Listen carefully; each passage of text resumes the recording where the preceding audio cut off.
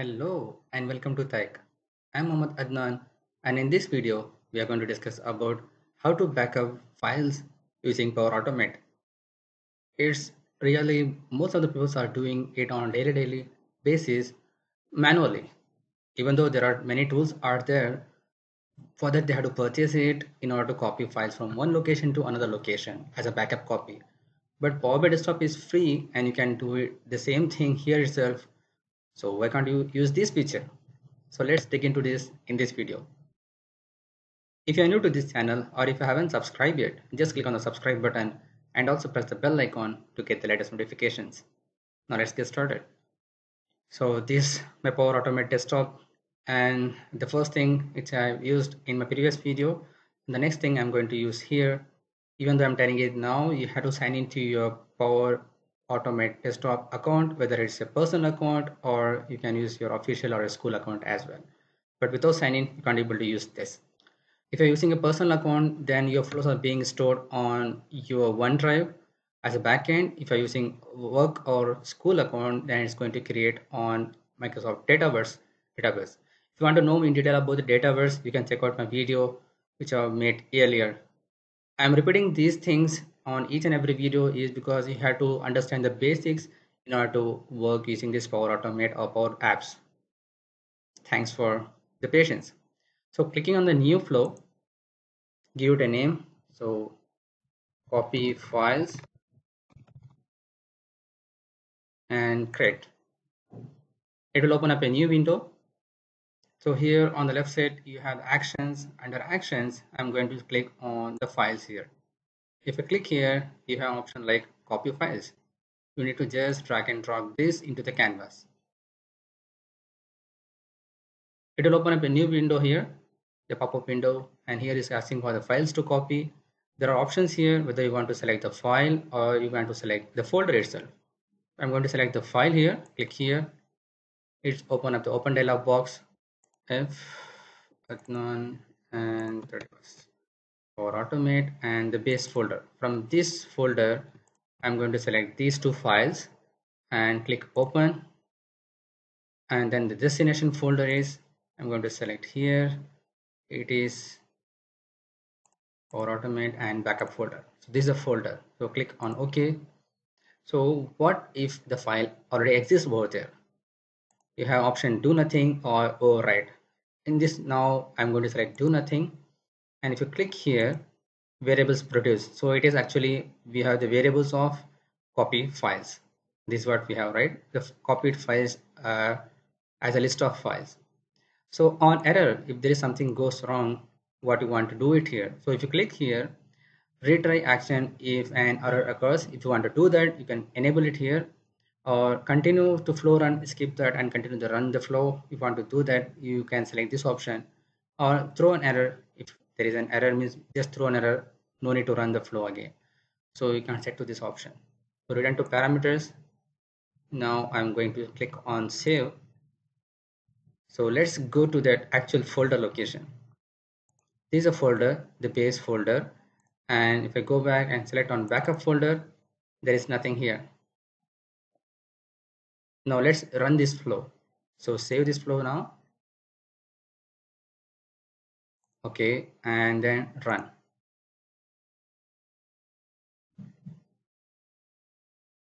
So run successfully.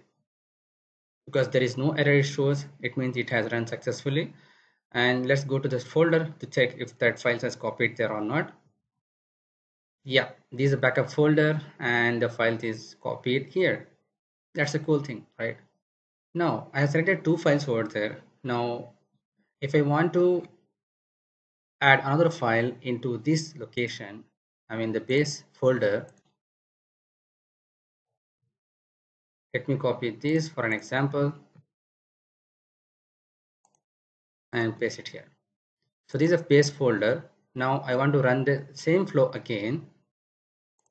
So I am going to delete the backup here. Open the Power Automate desktop. I'm going to run the same thing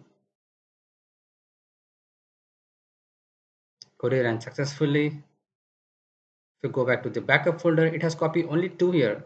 But actually I need to copy whatever the file exists into that folder. I need to copy all the thing. Then you have to change your logic. Delete this file. Then here instead of doing the files copy you have to select the folder. So clicking on this one and click on edit here so I'm going to clear this here. And instead of that I'm going to select here select folder. So by this way it has opened up this window and and then base folder. Click OK. I'm going to copy the base folder to backup folder. Everything remains the same and click on save. Now saving this flow. And then click run oh I got an error. Can't copy the file into this to this folder location. Runtime error found. Click on error this the error message. It cannot able to copy the files from this location to that location. What to do? In order to do that there's a one way another way actually you can do that. It is i'm going to add one more step here that the folders. If you look at the actions here you got the folder. Here you got the option like get files in the folder. So i'm going to drag and drop that on top of this. So you can see the line. I'm going to drag and drop it on the top of this. So it opens up this window and here i'm going to select the folder.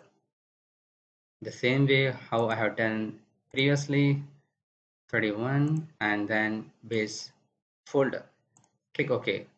So what do you want to get the type of files inside to that folder? Star means everything. If you want to copy every specific like excel pdf or anything else you can click here. If you want to include the subfolder if you want to include the subfolder inside to that you can enable this option. Uh, i don't have anything so i'm not going to enable that. So advanced option is there. Fail upon denies access to my subfolder. If i don't have access then what it will do. So it will just sort by this number and then by then by then by. There are options here? And the variables produced is the files. The same way on error it has to stop or continue flow. It has throw an error like we did last time. This is a good option actually. So click return to parameters. And this is this thing and click on save. Now stored into files. Now you need to click on this one and click on edit. So here we have an option like copy the folder and then we have an option like variables right? So you can select the variables as well. If you click here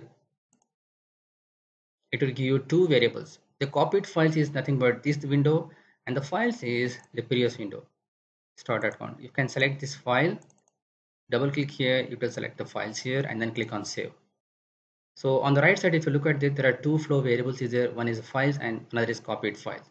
So files is nothing but this is the one which is getting stored into the get files into the folder and this is a copy file so it's copying that. I'm going to save this flow and then click on run. Now this flow ran successfully so let's go to this folder. Cool. I have the files copied over here now let me do one more example on that. So going back to this one this folder. I'm going to make a copy of this one itself. So there are four files here and here in the backup folder there are three here right? I'm going to do run the flow one more time. It is here. So if I look at here if the file exists we are done do nothing right? So what it will do we'll just run the flow again let's check the backup folder. See the backup folder now has the four files.